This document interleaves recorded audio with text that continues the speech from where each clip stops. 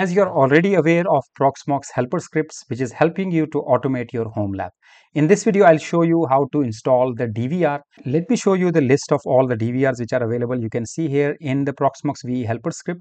If you go here NVR DVR, these are all of these available. If you want to have the easy to use, then motionEye is the best. I'll be installing Agent DVR in this particular tutorial. So here, if you click and expand this, you will see here, this is the script which is available.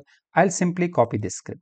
Now how to install this? I'll just simply go here to Proxmox virtual environment and click on PVE which is node of your Proxmox virtual environment. You can have multiple nodes but I have only one right now in this particular installation and I'll click here and then I'll click on shell. So here in shell you will simply come and paste that. The moment you paste press enter. It will run the wizard here. This will create a new agent dvr lxc container. So here if you expand this here it will create one new lxc containers. I will press enter. And now agent dvr is loading. It will load the script. I'll just show you that. Use the default settings. You have both the option whether you want to go for advanced where you have to provide yourself all the details you can choose the advanced option to select anything. I'll be using the spacebar here you can see it needs ubuntu 22.04 i'll say yes. I'll go for ubuntu. Ubuntu 22.04 okay and unprivileged i'll be selecting here. Okay and then root password. You can choose here the root password. Verify your root password. And container id it is 107 so 106 is already there so i'll install 107 here agent dvr will be the host name. I will press ok.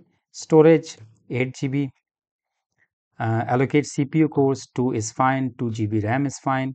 Vmbr 0 instead of vmbr 0 i'll be choosing vmbr 1 and here DHCP it is fine. You can choose by yourself but I'll be taking the IP from the DHCP server apt cacher IP I will not be using this and IPv6 I will disable.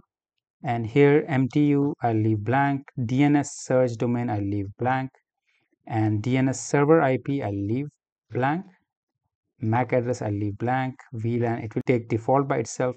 Root SSH access I will enable that. Verbose mode i will not enable this. Ready to create agent dvr lxc yes. Now it is creating the lxc using the above advanced settings. So it will validate the storage. And here it will prompt me for giving the storage. Actually there are two options available right now. So i'll be choosing local. This is the template storage where it will download the template and then where you want to install container. So i'll be installing container inside the local lvm and enter. Now it will update the LXC template list. And once the LXC template list will be updated then it will start creating the container. You can see here updated LXC template list. Now it will start creating the container. Here you can see creating LXC container. You can see here container number is 107 agent DVR. Don't skip this screen because if you move away from this screen it will disappear and next time when you come back again it won't show you anything. So we'll continue the installation and I'll come back. You can see here that the IP address which it has got is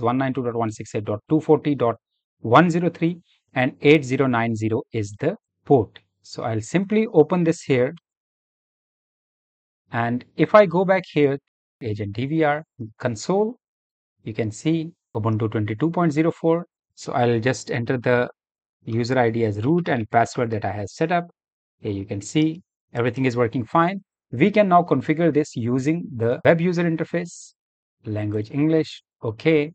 Click here to edit and get started.